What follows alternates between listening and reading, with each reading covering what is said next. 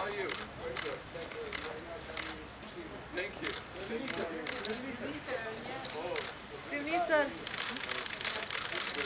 We'll have another chance. We are just two floors up. Yeah. As you know, we have uh, good relations between Austria and Kosovo. I'm happy to be here as Austrian Chancellor, but also um, during the time that we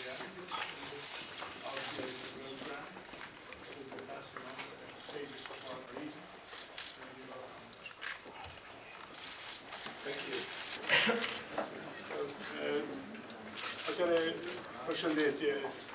Eh, Kisha një të zhvilloj një takim me kancelarin e Austrisë, zotin Kurz, me cilin bisedum për eh, marrëdhëniet bilaterale, shumë të mira Kosovë pra Austri, dhe njëkohësisht për perspektiven regionale, perspektiven evropiane të Kosovës dhe të rajonit. E falenderoj shumë për për krajen që ka dhënë Austria Kosovës. And welcome you, and that we have a chance to talk bilateral and our perspective towards you. And I thank you and your nation for your support for Kosovo. Thank you very much, Mr. Prime Minister. It's good to be here in Kosovo. I would like to thank you for the friendship between our two countries. Austria is a strong supporter of the region. Austria is a strong supporter of Kosovo.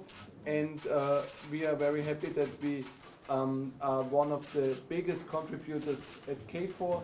Uh, we are one of the biggest investors here in Kosovo and also our Austrian Development Agency is present here and tries to support you as much as possible.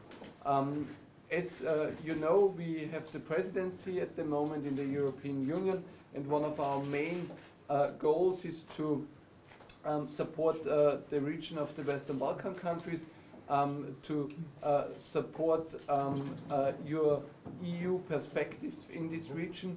And uh, therefore I uh, really uh, would like uh, to ask the people of Kosovo to support the dialogue between Belgrade and Pristina because I think a successful outcome of this dialogue is the basis a successful outcome of this dialogue is the basis um, for your EU perspective, but also um, uh, the chance to live together in peace and stability here in the region. Mr. Prime Minister, thank you, Thank you. very much for your time Vielen Dank. and Thank hope you. to see you next time in Vienna again. Thank you. Thank you, Sue. Now, one in the house here, you know, then.